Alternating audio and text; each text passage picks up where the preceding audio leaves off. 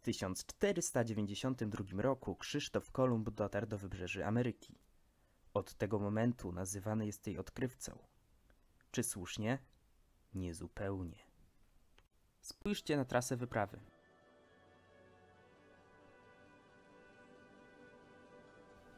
Nie kończy się ona na stałym lądzie Ameryki, ale na wyspach Bahama, na Kubie i Haiti.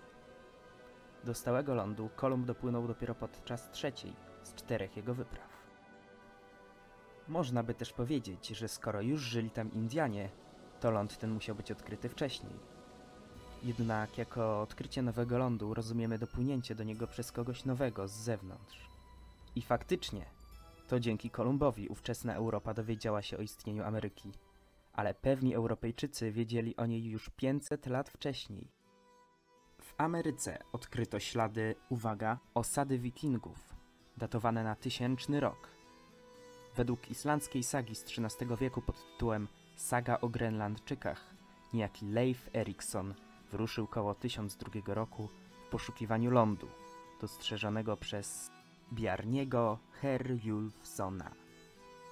Bjarni ujrzał wybrzeża Ameryki, zbłądziwszy podczas podróży na Grenlandię. Jednak nie zszedł na ląd. Zrobił to płynący jego śladami Leif, który założył też tam osadę, gdzie jego żeglarze przeczekali zimę. W genach dzisiejszych Islandczyków odkryto także wiele podobieństw do DNA dawnych mieszkańców Ameryki.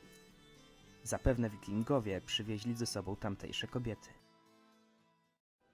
Tak jak Watt upowszechnił maszynę parową, a Edison żarówkę, tak Kolumb rozpoczął serię wypraw prowadzących do skolonizowania Ameryki.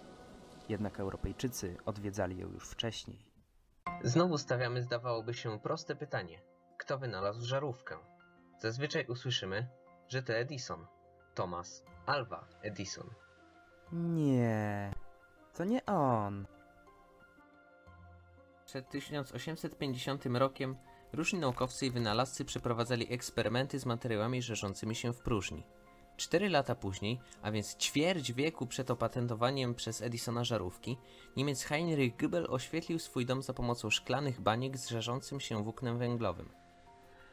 Kilka lat później Joseph Wilson Swan uzyskał brytyjski patent na węglowe włókno żerzące się w bańce z niskim ciśnieniem powietrza. Do 1978 roku udoskonalił ją na tyle, że nadawało się do praktycznego zastosowania.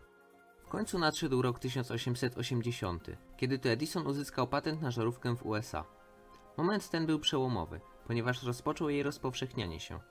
Wcześniej żarówki miały zbyt małą oporność, zbyt szybko się wypalały i pozostawiały czarny osad na szkle. Teraz wszystko zaczęło się zmieniać.